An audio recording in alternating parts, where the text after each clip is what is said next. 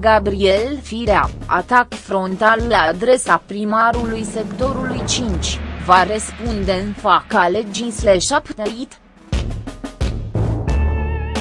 Decizia primarului sectorului 5, Daniel Florea, de a deschide subliniere colile astăzi a stârnit un imens scandal.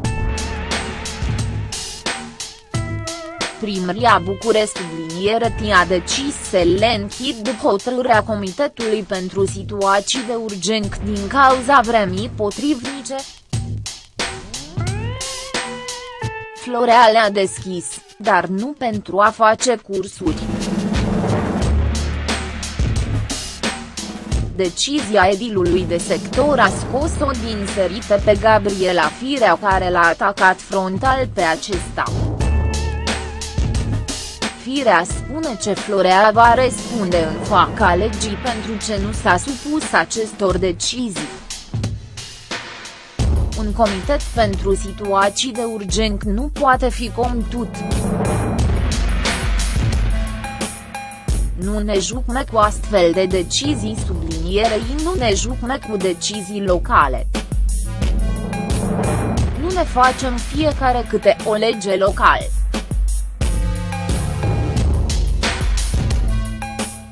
Va răspunde în faca legii fiecare pentru ce a făcut, a tunat firea.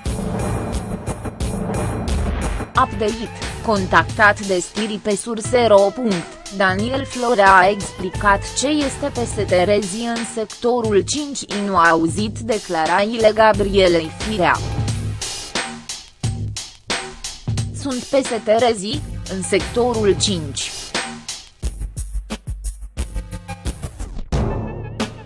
Permite-mi să nu comentez decât în momentul în care voi ascultă declarațiile doamnei primar, a spus Daniel Florea. La ultimul congres PSD, Daniel Florea a vrut să candideze pentru un post de vicepreședinte al PSD, asta de organizația PSD București îl susținea pe Robert Negoi.